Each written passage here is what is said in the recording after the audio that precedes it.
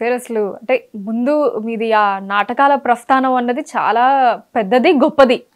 చెప్పాలంటే ఈ movies serials వీటన్నిటికంటే. ముందు.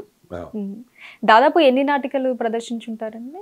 వేలల్లోనే ఉంటాయి ఆ, అంటే సుమారు పదిహేను వందలు ప్రదర్శనలు ఆడి ఉంటాం ఓకే. పదిహేను వందలు. అది ఇంకా చాలా చిన్నప్పటి నుంచే కదండి? ఆ అంటే ఆరే పదో ఏటి నుంచి ప్రారంభించాము. ఇక్కడ హైదరాబాద్ హైదరాబాద్లో కూడా నేను అరవై ఐదు నుంచి ఉన్నా ఇక్కడే చదువుకున్నాను. డిగ్రీ కూడా మాది ఇక్కడే కంప్లీట్ అయింది. మళ్ళీ తర్వాత సెవెంటీలో ఆంధ్రాకి వెళ్ళిపోయాను జాబ్లోకి. మళ్ళీ నేను నైంటీ ఫైవ్ నుంచి ఇక్కడే ఉన్నాను. ఓకే. కానీ సార్ అంటే ఇన్ని నాటకాలు పదిహేను వందల నాటకాలు ప్రదర్శించే ఈ టైంలో ఆ మధ్యలో ఎక్కడైనా మీకు మళ్ళీ ఈ సినిమా అవకాశాలు మీరు అనుకోవడం కానీ సినిమాల్లో చేస్తే బాగుంటుందని కానీ లేదా ఆ అవకాశాలు మీ దగ్గరికి రావటం ఇలాంటివి ఏం జరగలేదా అనుకోలేదమ్మా. అవకాశాలంటే ఇప్పుడు స్నేహితులు అనేవాళ్ళు. మనకి విజయవాడలో ఆడిషన్ జరుగుతున్నాయి తెనాల్లో ఆడిషన్ జరుగుతున్నాయి రాయల్దాం రాయల్దాం అని. నేను వెళ్ళేవాడిని కాదు. ఎందుకంటే నాకు కుటుంబ బాధ్యతలు ఎక్కువ. మాకు ఐదుగురు ఆడపిల్లలు అక్కలు చెల్లెళ్ళు సరే వాళ్ళందరూ వివాహాలు అయిపోయినాయి వాళ్ళందరూ బాగా సెటిల్ అయిపోయారు. అయినా కూడా మా అన్నయ్య గారు నేను మా అమ్మగారు మా నాయనమ్మ గారు మా ఆవిడ ఇద్దరు పిల్లలు. మొత్తం నేనే చూసుకోవాలి. నేను వెళ్ళిపోతే వీళ్ళకి పోషణ ఎట్లా అనే ఆలోచన ఉండేది. నేను కనుక వెళితే ఇప్పుడు అక్కడ మనం సంపాదించలేము అక్కడి నుంచి డబ్బులు పంపలేము ఎలా అని ఉండేది. అందుకని నేను ఎక్కువ అలా వెళ్ళలేదు. ఆ రోజు వస్తే భగవంతుడే ఇస్తాడనే నమ్మకంతోనే ఉండేవాడిని.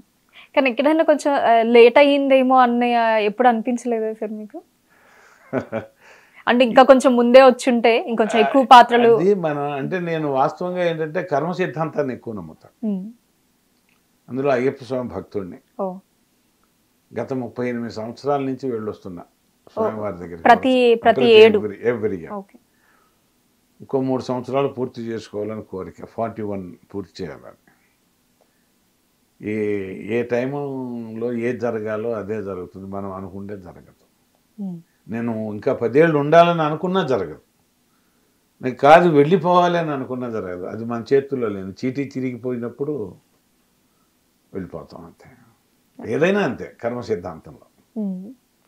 సో బాగా దైవభక్తి చాలా ఎక్కువ అనుకోవచ్చు. అయితే సార్ ఈ నాటకాల తర్వాత ఇంకా సినిమాల గురించి మాట్లాడుకుంటే ఫస్ట్ మీకు బ్రేక్ ఇచ్చింది మిడిల్ క్లాస్ మెలడీస్. అవునమ్మా. అవును. ఓకే. బట్ దానికి ముందు కూడా మూవీస్ చేశారు కదండి? మూవీస్ చేశానమ్మా. అంతకుముందు ఒక పదిహేను మూవీస్ దాకా చేశాను. కృష్ణవంశీ గారి దగ్గర చేశాను శశిరేఖ పరిణయం. ఆ, మన మోహన్ కృష్ణ గారి దగ్గర గ్రహణం చేశాను. మీరు చెప్పారు ఇందాక అష్టాచమ్మ చేశాను మాయాబజార్ చేశాను. గోల్కొండ హై స్కూల్ చేశాను అట్లాగే ఇంకోసారి అనే సినిమా చేశాను వైజాగ్ వాళ్ళది వీలైతే ప్రేమిద్దాం చేశాను మాపల్లె రేపల్లె అంటేనే ఒక మూవీ చేశాను సుందరానికి తొందర ఎక్కువ చేశాను ఫణి ప్రకాష్ గారి దర్శకత్వంలో. తర్వాత మన శివనాగేశ్వర గారి మూవీ ఓపెన్ అయిపోతుంది బాబు చేశాను. అట్లా ఉన్నాయి కొన్ని మూవీస్. ఓకే. అన్ని చిన్న చిన్న క్యారెక్టర్స్. అయినా వన్ ఒక సీన్ ఉంటుంది. ఒక సీన్ వేషాలు. తర్వాత తండ్రి వేషాలు చేశాను కొన్ని మూవీస్ వాటిల్లోనే. ఫస్ట్ బ్రేక్ ఇచ్చింది అయితే మిడిల్ క్లాస్ మెలడీ బ్రేక్ మాత్రం ఇదే. ఇంతకు ముందు విజయసారథి గారు రెండు వేల నాలుగులో ఒక మూవీ చేశారు దేవి అభయం అని ఇప్పుడు ఆయన ఇప్పుడు దాదాపు చెప్పండి సీనియర్ కో డైరెక్టర్ అప్పుడు ఆయనకి ఫస్ట్ టైం అవకాశం ఇచ్చినప్పుడు దేవి అభయం అని చెప్పి మంచి మూవీ చేశారు. రాశి గారి మేనమామగా విలన్గా చేశాను అందులో నేను. ఓకే హీరో ఏమో మన సాయి కిరణ్ గారు రంగనాథ్ గారు నేను చేసే మంచి మూవీ. అది కూడా అప్పుడే రావాల్సిన బ్రేక్. సరే అది మూవీ హిట్ మీద ఆధారపడి ఉంటది కాబట్టి. అన్నిటి మీద ఆధారపడి ఉంటుంది. అది ఇప్పుడు ఇప్పుడు ఇచ్చారు అంతే. ఓకే. మిడిల్ క్లాస్ మెరడిస్తో మీరు నమ్మిన కర్మ సిద్ధాంతం ప్రకారం ఇప్పుడు రావాలని ఉంది. అలా వచ్చింది అనుకోవచ్చు. అది కూడా నే నా ఇప్పుడు భవ్య క్రియేషన్స్ ఆనంద ప్రసాద్ గారి నిర్మాత అయినా అన్నే రవికుమార్ గారు ఉండేవారు ఆన్లైన్ ప్రొడ్యూసర్గా. ఆయన పాపం రెండు మూడు సార్లు అన్నారు నాతో ఈ సినిమా తర్వాత మీరు చాలా మాకు అందరు సార్ మీరు చాలా పెరుగుతారంటే నేను ఏదో ఆయన జోక్గా అంటున్నారులే ఆయన అన్నది ఏదో అంటున్నారులే అనే ఉంది కానీ నాకైతే అది మైండ్లో నేను పెట్టుకోలేదు. కానీ ఆయన చెప్పారు మా డైరెక్టర్ గారు గారు కూడా అన్నాడు వినోద్ అనంతోజ్ గారు కూడా ఈ సినిమా మంచి బ్రేక్ అండి మీకు మంచి బ్రేక్ రావాలి వస్తుంది అని అనేవారు at it may God sake Hmm. దేవుడి మీద ఆధారపడింది మనం ఏం చేస్తాం? అట్లాగే వచ్చింది అది వాళ్ళ గెస్ కరెక్ట్ అయింది అది. అంటే మిమ్మల్ని చూడగానే క్యారెక్టర్ల పరంగా చూసుకుంటే గనక కొంచెం కో కోపం ఎక్కువ ఉండి తిట్లు ధారాళంగా అలా వచ్చేసే క్యారెక్టర్ ఆ ఇంపాక్ట్ అన్నది ఎక్కువగా పడిపోయింది మేబీ ఎక్కువ క్యారెక్టర్స్ అవి చేయటం వల్ల. సో రియల్ లైఫ్లో ఏమో కంప్లీట్లీ ఆపోజిట్ అనుకోవచ్చా అండి అంటే మా ఇంట్లో వాళ్ళు అంటారు మీరు అట్లాగే ఉంటారు కదా అంటారు కానీ నేను ఉన్నాను ఉమ్, అది కరెక్ట్ కాదు. నేను కామ్గానే ఉంటాను ఎక్కువ మాట్లాడను. ఎందుకంటే మొదటి నుంచి నేను చేసిన వృత్తి విలేజ్ ఆఫీసర్గా చేశాను. దాంతో ఏమవుతుంది? ఎక్కువ అందులో మా ఊళ్ళో కొంచెం సమస్యలు కూడా ఉండేవి. అంటే అన్నదమ్ములు భాగ పంపిణీల దగ్గర కావచ్చు తండ్రి కొడుకులు భాగ పంపిణీలు కావచ్చు. విలేజ్ ఆఫీసర్ అంటే మీకు తెలిసి ఉంటుంది గ్రామాధికారి తర్వాత ఈ పొలాలు కొలతలు రిజిస్టర్లు డాక్యుమెంటేషన్స్ ఇవి. అందుకని వాళ్ళు చెప్పేది వినటానికి మనం ఎక్కువ టైం ఇవ్వాలి.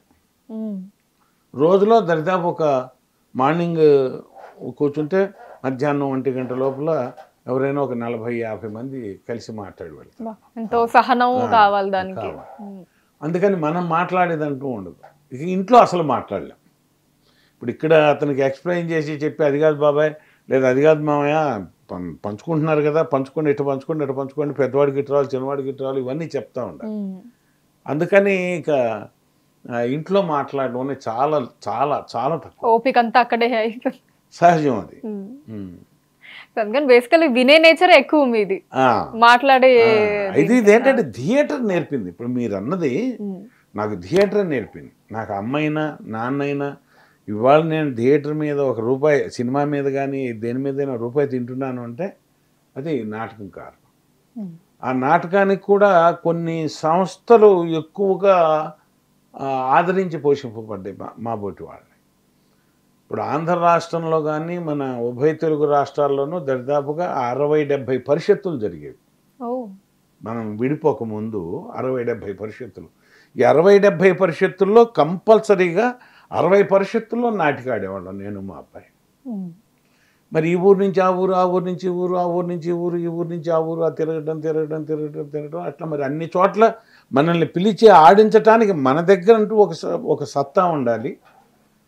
పిలిచి ఆడించటానికి వాళ్ళు ఎంత శ్రమ పడాలి? మన భోజనాలు పెట్టాలి ఛార్జీలు ఇవ్వాలి ఆడినందుకు పది రూపాయలు పదివేలు ఇరవై వేలు డబ్బులు ఇవ్వాలి.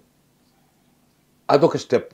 అంటే అసలు మనం ఎదగటానికి సెకండ్ స్టెప్ వచ్చేటప్పటికి ఇప్పుడు తెనాల్లో క- కళా పరిషత్తులు పెట్టేవాళ్ళు కానివ్వండి. ఇప్పుడు మా సాయి మాధవ్ గారు రైటర్ గారు కళ్ళకాణాచి అని పెట్టి మనకి.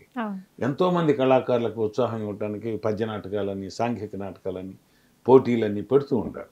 దానికి ఎంత డబ్బు ఎంత సమయం కేటాయిస్తుంది వాళ్ళు జరపగలుగుతారు? అది మరి మాకు ఎసెట్టే కదా మేము నేర్చుకున్నట్టే కదా అది. దరిదాపుగా ఒక నాటిక ఆడాము ఒక ప్రదర్శన ఇచ్చాము అంటే మళ్ళీ ఒక ఒక ట్రైన్ ఒక ట్రైన్ అయినట్టు. అట్లానే హైదరాబాదు నేను వచ్చిన తర్వాత తొంభై ఐదు నుంచి తొంభై ఎనిమిది నుంచి రసరంజన్ వాళ్ళు దగ్గర ఎక్కువ వర్క్ చేశాను నేను. మన రమణాచారి గారు. వాళ్ళు ఫౌండేషన్. ఆయన కృషి ఎంతో ఉంది దాని వెనకాల నిజంగా. ప్రతి నెల ఒక నాటకం ఆడించటం. ఆ నాటకం రసరంజన సంస్థ కూడా ఆడాలి అంటే మేము మేము ఒక నాటకం నేర్చుకోవాలిగా. అట్లా వాళ్ళ దగ్గర నేను మంచి మంచి నాటకాలు ఆడాను. రసరంజన సంస్థ ద్వారా. డాక్టర్ ఎంఎన్ శర్మ గారు చాట్ల శ్రీరాములు గారితో చేశాను. మరి డాక్టర్ డిఎస్ఎల్ మూర్తి గారు నేర్పిన నాటకాలు నేర్చుకున్నాను. మరి దుగ్గిరాల సోమేశ్వరరావు గారి దగ్గర నాటకాలు నేర్చుకున్నాను. అట్లా వాళ్ళు నేర్పిన ప్రతి నాటకము ఒక పాఠమే మనకి. అండ్ నేను అలాగే స్వీకరించేవాడిని. నేను ఇందులో అబద్ధం చెప్పేదేం లేదు. ఇవాళ మనం ఒక క్యారెక్టర్ ఈజీగా చేయగలం. ఇప్పుడు సపోజ్ ఒక పురోహితుడు పంతులుగా మనం మాట్లాడాలి అంటే అయ్యా సమయం మించిపోతోంది. లగ్నానికి ఇక రెండు నిమిషాలకు మించి సమయం లేదు. అర్జెంటుగా అమ్మాయిని అబ్బాయిని తీసుకొచ్చి కూర్చోబెట్టండి. ఈ ట్యూనింగ్ మనకి రావాలి అంటే మనం ఎవరి దగ్గర అయితే ట్రైండ్ అవుతామో అటువంటి క్యారెక్టర్స్ అన్నీ చేస్తాం. అట్లాగే ఒక ఒక రాజుగా మనం మాట్లాడాలి. ఒక రాజుగా మనం మాట్లాడాలి అన్నప్పుడు నేర్పుతారు. మామూలుగా మనం నేర్పినప్పుడు ఏమంటారంటే అస్మద్భుజబల సముపాద్యత మీ మధుర. కాదన్న వారిని కాలరాయుదును. ఎవ్వరెరుగురి నాగమనాయకుని అకుంఠిత పరాక్రమము. కాదనిన కాలాగ్నిలో కాలిడుట. కోరి మృత్యువును ఆహ్వానించుట. హ! కళంకమట కళంకము మరి ఇది ఆ గురువు గారు ఎవరో ఒకళ్ళు. ఆ దర్పం. దర్పం ఇలా ఉండాలి అప్పుడు మీసం ఇట్లా అనాలి. లేదు నీ కళ్ళల్లో ఇలా కొంచెం రావాలి. ఇవన్నీ నేర్పుకుంటూ నేర్పుకుంటూ నేర్చుకుంటూ మనం నేర్చుకుంటూ వస్తేనే ఒక సినిమాలో కానీ ఒక టీవీలో కానీ ఎక్కడైనా మనం రాణించగలుగుతాం అనేది నా అభిప్రాయం. అది.